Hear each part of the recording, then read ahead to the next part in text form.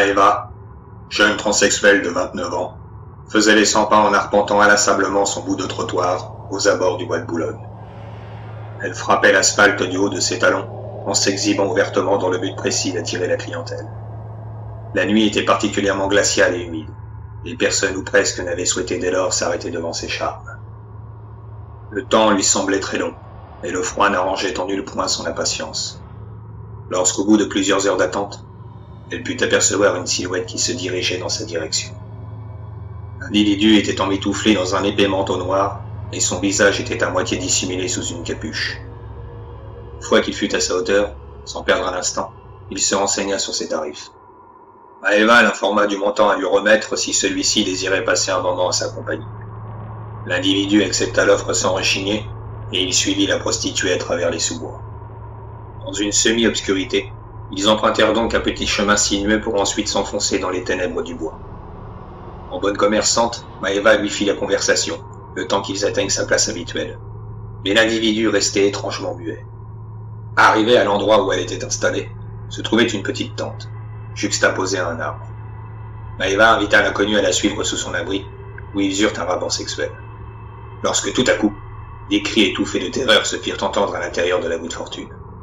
Celui-ci se mit à trembler dans tous les sens, et plusieurs traînées de sang vinrent entacher son tissu. Puis la tente s'immobilisa. L'individu en était ressorti précipitamment un couteau à la main, et il prit la fuite à travers les bois. Une heure plus tard, les enquêteurs étaient sur place et avaient déjà commencé à fouiller les lieux, quête du moindre indice sur l'auteur du crime. Après s'être inquiétés de l'absence de leurs collègues, ses amis prostituées avaient découvert avec frayeur le corps mutilé de Maeva, et elles avaient de suite prévenu la police. Le témoignage restait malheureusement vague et confus, car elles avaient à peine aperçu la silhouette qui avait accompagné leur ami. Le commissaire Christian Mallard fit alors son entrée sur la scène du crime. Mal rasé, les yeux vitreux, il s'adressa à son supérieur dans le but d'en apprendre davantage sur l'affaire. Qu'est-ce qu'on a? Meurtre. Une travailleuse qui avait ses habitudes dans ce secteur. Mallard souleva le drap blanc qui recouvrait le cadavre. Oui, en effet, je la connais. Elle se faisait appeler Maeva, notifia-t-il. Son véritable nom, c'est Pedro Santana, et on ne lui connaît à ce jour aucun incident majeur, mis à part quelques arrestations pour accolage sur la voie publique. Il est arrivé d'Amérique latine il y a une douzaine d'années à peu près. Bordel, qu'est-ce qu'il a dans la bouche? S'insurgea Mallard en regardant son supérieur. Son pénis. D'après l'avis des experts, la mort remonte à un peu plus d'une heure. La victime a été tout d'abord égorgée, sûrement pour limiter ses cris. Ensuite, elle a été poignardée de plusieurs coups de couteau. Et pour finir, on lui a coupé le sexe pour venir lui fourrer au fond de la gorge. Putain de taré. ça échappé Mallard.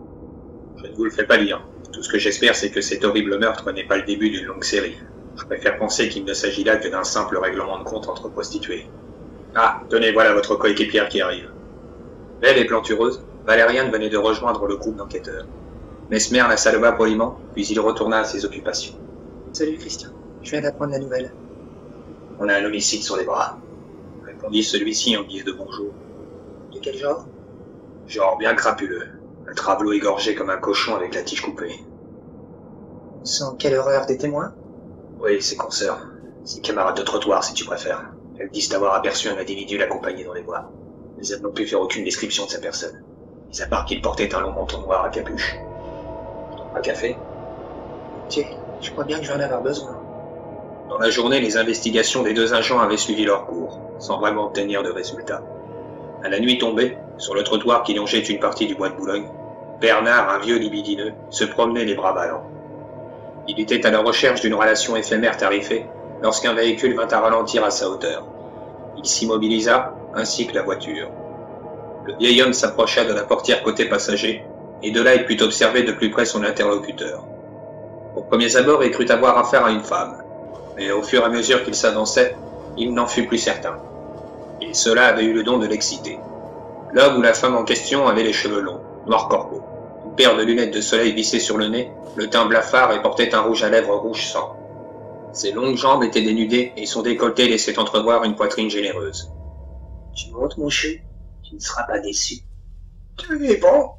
Qu'est-ce que vous avez à m'offrir demanda le vieux pervers. Tout ce qui te passera par la tête. Je n'ai aucun tabou. Et ça va me coûter combien tous ces délices? Pas grand-chose, comparé à ce que tu vas vivre. Emballé par la marchandise et les plaisirs qu'elle lui promettait, Bernard, guidé par ses pulsions, ouvrit la portière de la voiture et s'engouffra à l'intérieur. Une fois installé sur le siège passager, le véhicule démarra et put dès lors remarquer un détail des plus troublants. En effet, tout l'habitacle intérieur de la voiture avait été recouvert d'un film de protection. Il y en avait sur les portières, sur le tableau de bord et même sur le plafonnier. Qui quoi tout ce plastique demanda-t-il interpellé. La voiture est neuve, elle sort du garage. Ne sachant pas quoi répondre et n'ayant pas vraiment d'avis sur le sujet, le vieux revint à sa libido et se renseigna auprès de son interlocuteur à savoir où est-ce qu'ils allaient. Fais ça où? Dans la voiture, dans un coin reculé. Utile comme somme et unique réponse. Un instant plus tard, le véhicule se stationna dans une sombre ruelle. Avant de sortir ton portefeuille ou chou, tu peux me donner les préservatifs qui se trouvent dans la boîte à gants. Le septuagénaire acquiesça et il se pencha pour ouvrir la boîte. Y a rien là-dedans. Ce furent les derniers mots qu'il put prononcer, car le conducteur ou la conductrice lui avait saisi avec férocité l'arrière du crâne avec sa main gantée pour venir lui fracasser plusieurs fois la tête contre le tableau de bord, puis d'autre part sur la vitre et l'armature de la portière. Le plastique de protection avait été déchiré à divers endroits et une pluie de sang goûtait du plafonnier. Ensuite, pour en finir avec sa victime, l'assaillant avait sorti un couteau tranchant et l'avait poignardé à plusieurs reprises. Puis il avait démarré le véhicule pour s'en retourner vers le bois. Sur l'avenue principale, où se retrouvaient toutes les travailleuses, la voiture s'arrêta précipitamment au milieu de la rue, en faisant crisser les pneus, et le corps de Bernard en fut projeté violemment. De là, le véhicule repartit sur les chapeaux de roue, en ne laissant plus qu'une ombre derrière lui. Bien entendu, tout le monde accourut autour de la victime et s'empressèrent d'appeler les secours. Trois quarts d'heure s'étaient écoulés depuis l'agression, lorsque l'agent Valérian arriva sur le lieu de l'incident. Étonnée de ne pas apercevoir son partenaire, l'inspecteur Christian Mallard, elle essaya de l'appeler sur son téléphone, mais celui-ci était apparemment coupé. Depuis son divorce et après qu'il ait perdu la garde de ses enfants, dû à ses problèmes qui étaient en partie liés à l'alcool, l'inspecteur Mallard avait développé une sexualité débridée, assez malsaine pour tout dire. En effet, il se rendait plusieurs fois par semaine dans un club atypique où la spécialité se trouvait être le sadomasochisme. Alors pendant que sa coéquipière tentait délibérément de le joindre, celui-ci se faisait flageller le corps par deux individus masqués de cagoules de cuir, pendant qu'un autre individu dissimulé lui aussi sous un masque venait à lui brûler les papilles mammaires avec de la cire de bougie. Policier le jour, esclave sexuel la nuit. Valériane se trouvait à présent aux côtés de son supérieur Mesmer, et elle écoutait attentivement les premières impressions de celui-ci lorsque l'inspecteur Mallard fit enfin son apparition. Ah, Mallard Mais où est-ce que vous étiez, bordel? Vous devez être sur le coup 24 heures sur 24 Ouais, désolé, inspecteur. Je suis assoupi. Pas très convaincu, le supérieur Mesmer lui répondit. Pensez à baisser le coude, Mallard, si vous voyez ce que je veux dire. Bien évidemment, et celui-ci faisait allusion à son penchant pour la boisson. Gêné, et n'ayant pas vraiment d'argument pour le contredire, Christian Mallard déglutit et encaissa le coup. Et comme si de rien n'était, il changea de conversation en s'intéressant à la nouvelle victime. Corps et prostituée demanda-t-il sans avoir vu le cadavre. Mesmer ne prit pas la peine de lui répondre et c'est Valériane qui dut le renseigner. Cette fois-ci, c'est un client. Un client? D'après les travailleuses, il avait ses habitudes dans le quartier où tout le monde le connaissait plus ou moins. Quoi d'autre? La victime a été projetée du véhicule sûrement après avoir été tuée. Autre chose? À part les blessures multiples au visage et plusieurs coups de couteau au niveau de l'abdomen, on a pu découvrir des résidus plastiques sous ses ongles. Étrange. Je peux jeter un coup d'œil? Hélas, tu arrives trop tard. Le corps est déjà en route pour l'autopsie. La semaine qui suivit le second meurtre fut des plus marquantes pour les habitants du quartier. Nombre de victimes, clients et prostituées furent retrouvées mortes assassinées autour et à l'intérieur du bois. Certaines avaient été violées puis sauvagement mutilées au couteau. La situation se voyait de plus en plus critique et il fallait trouver une solution d'urgence pour mettre fin à cette véritable psychose, et c'est sous les ordres de son supérieur que l'agent Valériane fut contrainte à jouer les appâts dans le but d'appréhender le meurtrier. Elle devait alors endosser chaque nuit le rôle d'une prostituée. Sachant d'après les quelques témoignages requis que l'individu recherché était a priori un homme, elle opta donc pour une tenue légère et attractive. Munie d'un micro-espion au cas où les choses tourneraient au vinaigre, et elle s'en alla arpenter le trottoir maquillée et attifée comme une poupée gonflable. Joli colis. L'inspecteur Mallard venait de rejoindre Valériane. Non, je veux pas, Christian, tu veux. C'est déjà assez difficile pour moi de porter ce genre d'accoutrement. Du calme, beauté. Je viens juste de rappeler qu'au moindre problème, on sera pas loin dans le cas où il faudra intervenir. Alors, me voilà rassuré. Répondit-elle en ironisant. Mais cette nuit-là, Valériane n'avait pas eu besoin de donner la moindre alerte, car personne n'avait mordu à l'hameçon. Et il fallut attendre patiemment la nuit suivante pour qu'un individu qui correspondait à la description du tueur vienne à se présenter devant elle. L'homme en question, qui était à demi planqué sous une capuche, suivit sans se soucier l'agent de police dans les sous-bois. Bien entendu, l'agent valérien devait, si celui-ci n'était pas l'homme recherché, l'affranchir sur sa véritable identité et le laisser repartir discrètement.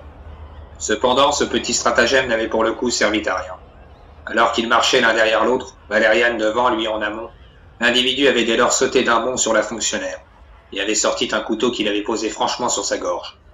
File-moi tout de suite, poufiasse Intervention, intervention cria-t-elle dans le micro dissimulé dans son décolleté. Putain de merde, une saloperie de flic Pris au piège, l'homme qui se trouvait en pleine interrogation fut plaqué manu militari au sol par le groupe d'intervention. Puis il fut menotté et embarqué dans une voiture de police. Mallard vint alors féliciter sa coéquipière pour son courage avant d'être rejoint hâtivement par leur supérieur Mesmer. Bravo, agent Valérian. Vous avez fait du bon boulot. Merci, inspecteur.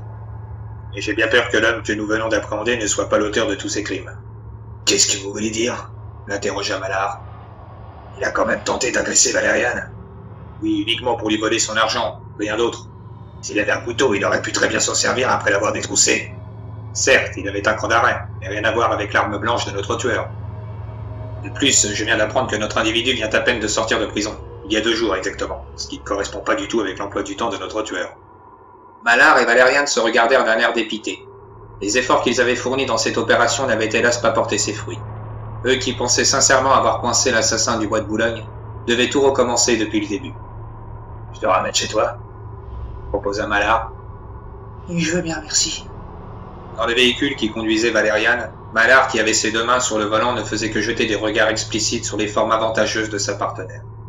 Et lorsqu'ils furent arrivés à son domicile, il tenta de s'y inviter. Tu m'offres un dernier verre? Autre fois, peut-être. répondit-elle en déclinant gentiment son offre. Elle prit donc congé en lui souhaitant une bonne nuit, et elle regagna avec hâte son appartement. Après avoir déposé ses effets personnels sur la commode de l'entrée, elle se dirigea dans la salle de bain. Elle se fit couler un bon bain chaud, et en attendant que la baignoire daigne de se remplir, elle se dirigea vers sa chambre à coucher. Elle retira tous ses vêtements, puis elle ouvrit son dressing. Sa garde-robe était des plus ordinaires pour une jeune femme de son âge, mis à part un épais manteau noir. Sur l'étagère du dessus, on pouvait apercevoir une paire de gants et un couteau de cuisine bien affûté. Valériane se tourna face au miroir qui se trouvait dans la pièce, et alors qu'il se tenait le pénis entre les mains, car depuis toujours il était un homme, esquissa un immense sourire de satisfaction.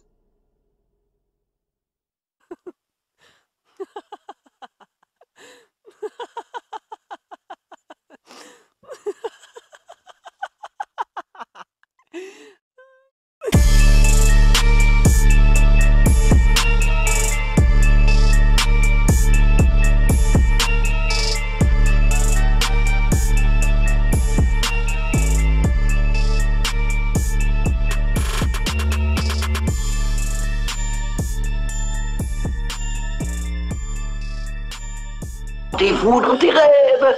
Et reviens quand tu as envie. Amène tes copains.